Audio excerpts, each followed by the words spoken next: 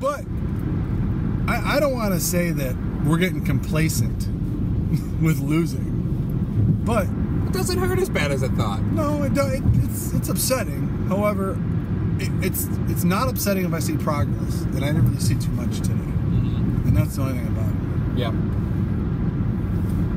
But we had some we had some great feedback from the uh, from the chat. Oh, live chat. Yeah, The a lot of people Wow. and that we had never talked to before. Yeah, that I'm was- so happy about that. Yeah, I love seeing new people in there and, and people, you know, tell us what you think. It's, you know what? I heard something on Double Nickel Zero on the way to. I listen. I listened to Double Nickel Zero to make myself, you know, to put myself in the right frame of mind that other, you know, that everybody is important and not to forget that because Really? they don't think anybody's important. I listen to him too Yeah. before I go lift. Works like a charm.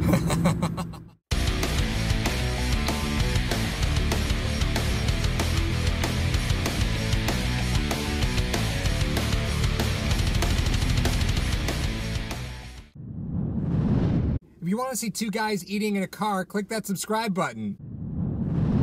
So, caller calls and he's making his point, and he gets cut off and said, "Yeah, I don't, I don't think any of that matters." Like, wasn't even done with what he was saying. And I think everybody's opinion's important, and everybody has their opinion for a reason, and you should hear them out, whether you agree or not. They, they have that opinion for a reason. So I think it's I think it's your job as somebody who they turn to in a media role to gives to have some constructive conversation. Not no, I don't think any of that matters. I don't know how I feel about that. So uh, thanks. I, Moving on. I, that bothers me. Is that something that they don't know what the answer is? Is that why they lash out in that? Because like I got, I got to be honest. I had a discussion earlier this week with a friend of mine, and we were talking about offenses and stuff. He goes, "Well, you don't really like Daboll, so I'm not even." I'm like, "Tell me about it. What you?" I was like, "You, you, you're in support of Daboll." Yeah. And he said, "Yeah."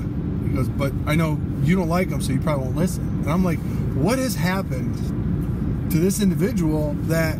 I said, "No, no now I want to hear it. I would love to hear it because if you have points that I may have missed, or I don't know, or I'm not seeing, I would love to hear it. Yeah. I would absolutely love to hear it." I was like, "Just please tell me." And then we, and we had a very, very productive, like 15 minute conversation about Yeah. Brian Daboll's offense, and, Yeah. and he brought up things to light that I hadn't thought of before, and it was a great conversation. But like too many times, like in social media and stuff like that, especially on the radio, just You can hammer them down. out. It's, Yeah, it's you shut- ridiculous. yeah, you can just shut down. That bothers me a lot. You know, Yeah. I understand that. You know, in the radio world, they're they're very corporate, so they have to turn out so many callers per hour. I get that it's production, but listen, if you can't hit your production, then it's because you're not listening. You're you're not listening. If people heard the point that was being made, then maybe they're not going to call any. You know, Yeah. like they're not going to call and repeat the same point that somebody else just made. You didn't listen. You didn't have a good dialogue. You didn't teach. You didn't instruct. You didn't. You know, like it just bothers me, man. Like at the postgame show, we covered what what the what 22 personnel is because you'll see signs on the sideline. If you're at a game, that's Yeah. what you're going to see. Well, what does it mean? Well, here's what it means. And while you're watching the game, if you're on the opponent's sideline, and you know, and you're looking across to the Bills, you can look at it and say, "Oh, they're going to be in 22 this play," and you'll know it before anything else happens, right? Mm-hmm. You'll be a leg up. You'll be you'll be running at the same speed as the stuff on the sidelines, you know, and you and you can look for substitutions, and you, you just look at the you can watch the game at a higher level just by listening to somebody else's argument. Right? Yeah, That's it. absolutely. It's not even an argument. It's a debate. Like we like to we like to discuss a lot of things. We often see eye to eye, but we still talk about it and take opposite points. And I think that strengthens your ability as a fan. I think it does too. I know. I mean, between between us, because you know a lot of the a lot of the people that probably watch our channel, they don't know us. You know, Oh, they, yeah. they know the the verbiage we go back and forth with a lot. But I mean, we know each other well, so I know. I sometimes know where you're going. Mm-hmm. However, when when a fan, I mean, I, I'm sure we can call them fans at this point. Yeah.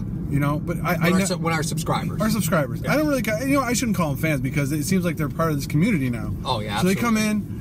I and love they- the live chat. They, oh yeah. they talk amongst themselves, and they I, I love it. It's it's so they, it's it's a great platform. Like I haven't, not once. It's, uh, even in the even in the videos we post throughout the week, no one snipes at each other. No. It's great. It's very productive content Mm-hmm. and discussion, and that's what I love because they'll just throw stuff at us, and I'm like, I need to think about that for a second. I wonder if Paul's got it, and then you'll jump right on it, and then I hopefully it works the other. way. Oh, absolutely. But um, it's such a great discussion and forum for Bills fans. I'm glad that I'm glad that they uh, that everyone that you all you know jump in on it, and hopefully you get some great feedback from us.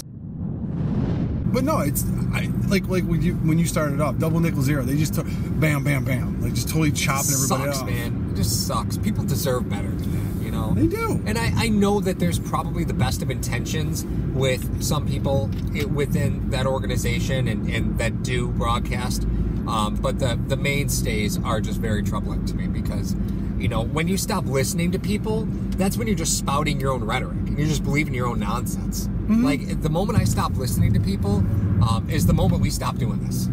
You know, I, I need to Oh, be yeah. able to hear everybody's perspective. I, the moment we stop listening is the moment we should stop. I think it's it's unique from us, and we may have a different discussion in, in 2019. But you realize when we started, we didn't have a lot of people, so we were banging the drum trying to get people to hear us first. Yeah. And then when they did, they started returning serve, and I tell you what, man, I have so much fun doing this. Yeah. This is hilarious. So much fun. And there's some there's some production of it. And hopefully I mean, because I've learned stuff that I didn't know from our subscribers. Yeah. And hopefully they've learned some stuff from us. Oh, they bail us out all the time. Yeah. They bail us out all the time. I'm not No, going to say that this they is don't. this. This is this. This is the Yeah. oh, okay. Like, guys, I don't remember the answer to this. Do you know? Like the Chan Gailey thing today. How do we Oh. forget about Chan Gailey? He's easily forgettable. He wasn't a very colorful coach. Uh, well, I mean, he, you're right. It wasn't boisterous, but I mean, that was. People look at the last time the Bills had success and it was with Chan Gailey. Mm-hmm. You know? That's peculiar.